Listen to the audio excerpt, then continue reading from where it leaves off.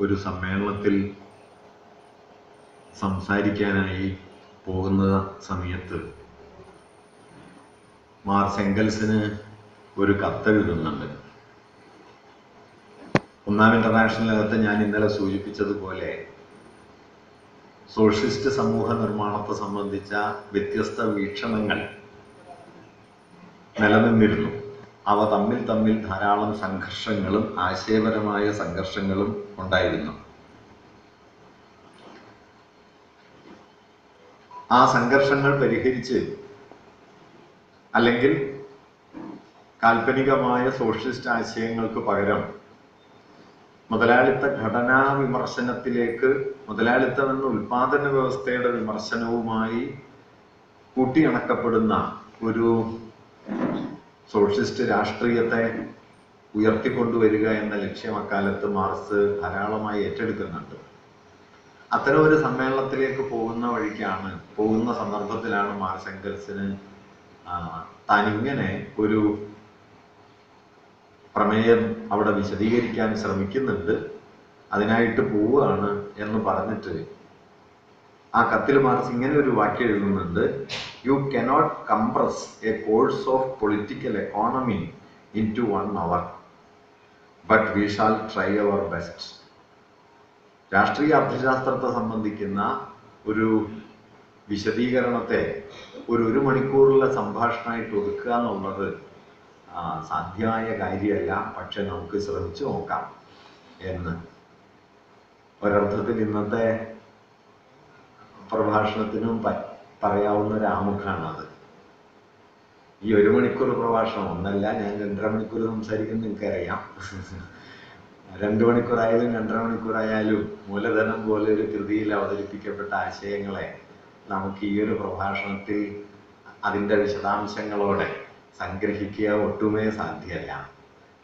രണ്ട് കാരണങ്ങളാണ്. ഒന്ന് മൂന്ന് വോള്യങ്ങൾ അല്ലെങ്കിൽ നാല് വോള്യങ്ങൾ. സർപ്ലസ് വാല്യൂ ഉൾപ്പെടെ നാല് വോള്യങ്ങളായി അതിബൃഹത്തായ ചർച്ചയാണ് മാർസ് മുതലാളിത്തത്തിന്റെ ഘടനാപരമായ ഉള്ളടക്കത്തിനെതിരെ നടത്തുന്നത്.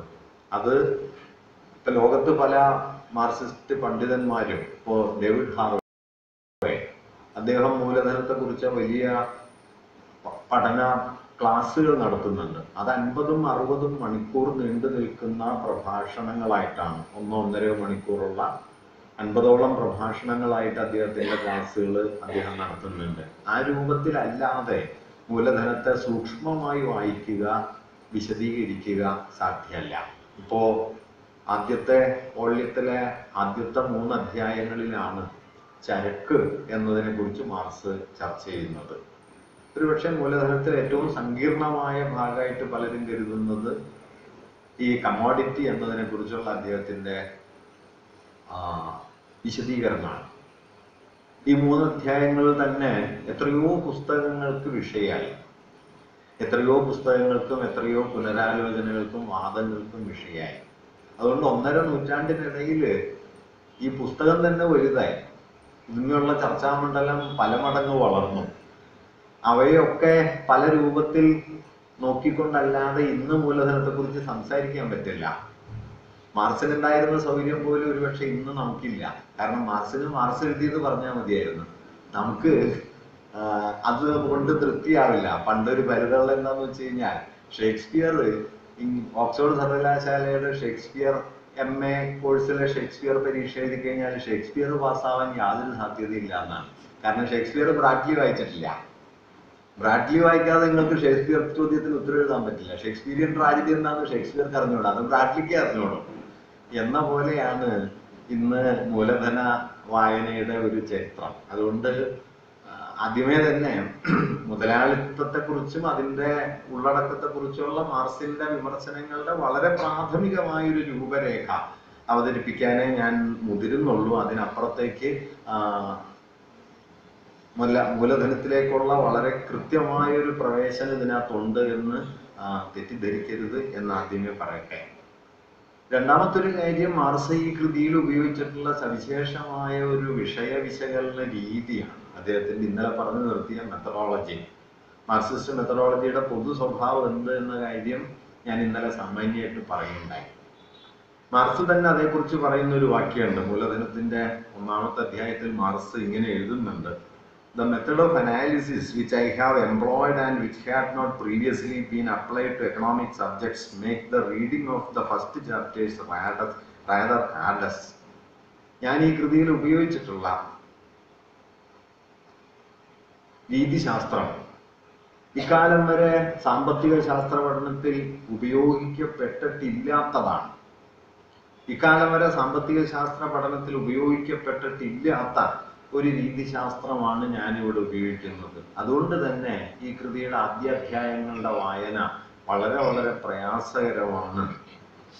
എന്നിട്ട് അദ്ദേഹം പറയുന്നു there is no royal road to science പുതിയ ശാസ്ത്രങ്ങളിലേക്ക് എളുപ്പമുള്ള രാജവീഥികൾ ഒന്നുമില്ല. And only those who do not dread of fatigue in climbing up its steep paths have a chance of gaining its luminous lights. വളരെ ദുർഗമമായ കുത്തനെയുള്ള വഴികൾ കടന്നു കയറാൻ ശേഷിയുള്ളവർ ക്ഷീണിക്കാത്തവർ ക്ഷീണിക്കാത്തവർക്ക് മാത്രമേ അവസാനത്തെ പ്രകാശം കാണാനാവൂ എന്ന് അദ്ദേഹം തന്നെ എഴുതുന്നുണ്ട്. ഞാൻ പറഞ്ഞത് എന്താണെന്ന് വെച്ച് കഴിഞ്ഞാൽ മാർസിന്റെ രീതിശാസ്ത്രം വളരെ സങ്കീർണമായ നിലയിലാണ് മാർസി കൃതിയിൽ പ്രയോഗിച്ചിട്ടുള്ളത്.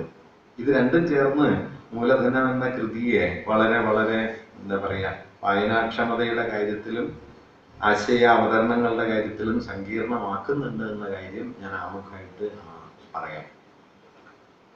എന്താണ് ഇന്നലെ ഞാൻ പറഞ്ഞു നിർത്തിയതിന്റെ തുടർച്ചയിൽ ഒരു കാര്യം പറഞ്ഞിട്ട് മൂലധനത്തിന്റെ ഉള്ളിലേക്ക് കടക്കാം. എന്താണ് മാർസ് മൂലധനത്തിൽ ചെയ്യുന്നത്? അഥവാ മൂലധനത്തിൽ ഉപയോഗിച്ച രീതിശാസ്ത്രത്തിന്റെ സവിശേഷത എന്താണ്?